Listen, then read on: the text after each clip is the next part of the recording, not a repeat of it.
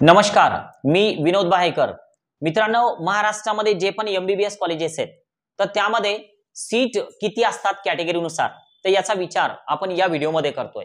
आता जर समजा आपण एस सी या कॅटेगरीचा जर का विचार केला तर एस सीच्या ज्या टोटल सीट्स आहेत तर त्या मित्रांनो आहेत चारशे ब्याण्णव.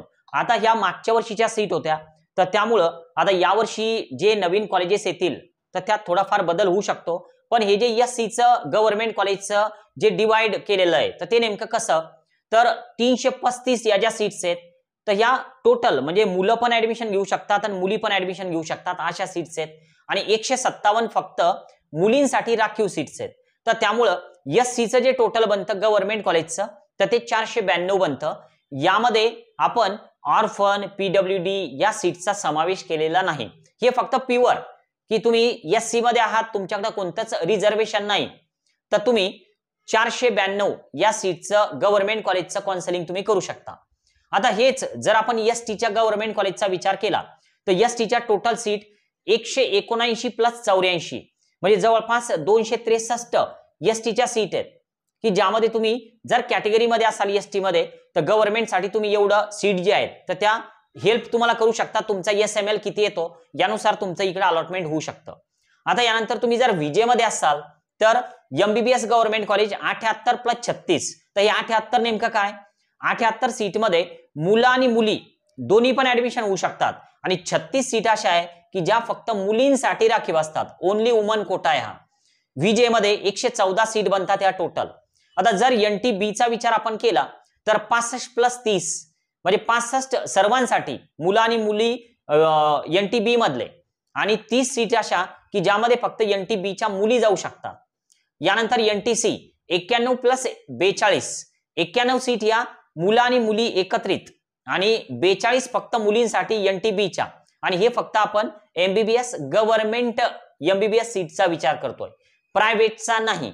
प्रायव्हेटचा एक सेपरेट व्हिडिओ आपण बनवूया.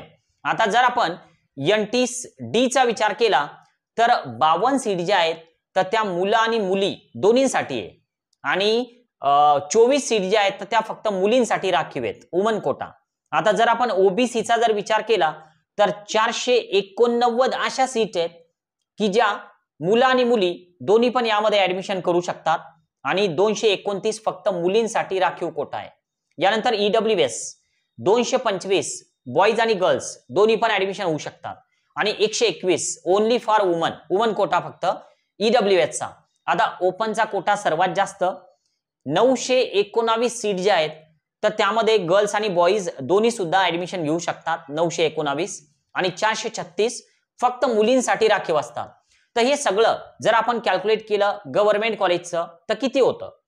एस सीच्या टोटल सीट चारशे ब्याण्णव गव्हर्नमेंट कॉलेजला गव्हर्नमेंट एमबीबीएसला त्यानंतर एस टीच्या दोनशे त्रेसष्ट विजेच्या एकशे चौदा एन टी बीच्या पंच्याण्णव एन टी सीच्या एकशे तेहतीस एन टी डीच्या शहात्तर ओबीसीच्या सातशे अठरा ईडब्ल्यू एचच्या तीनशे अठ्याहत्तर ओपनच्या तेराशे पंचावन्न आणि टोटल गव्हर्नमेंटच्या ज्या सीट आपण कॅल्क्युलेट केल्या तर या बनतात तीन हजार सहाशे चोवीस.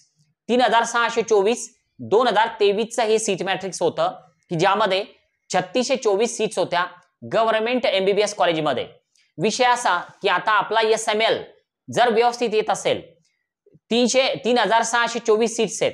एस एम एल नेमका किती यायला पाहिजे? तर हे तुम्हाला नंतर मी सांगू शकतो. जेव्हा लिस्ट जनरेट होईल तेव्हा. रजिस्ट्रेशन झाल्याच्यानंतर एक स्टेट मेरिट लिस्ट जनरेट होईल. तर तेव्हा तुमचा एस एम एल किती येतो? तर यानुसार तुम्हाला कोणत्या कॉलेजपर्यंत तुम्ही पोहोचू शकता? तर एक प्रेडिक्ट करता येऊ शकतं.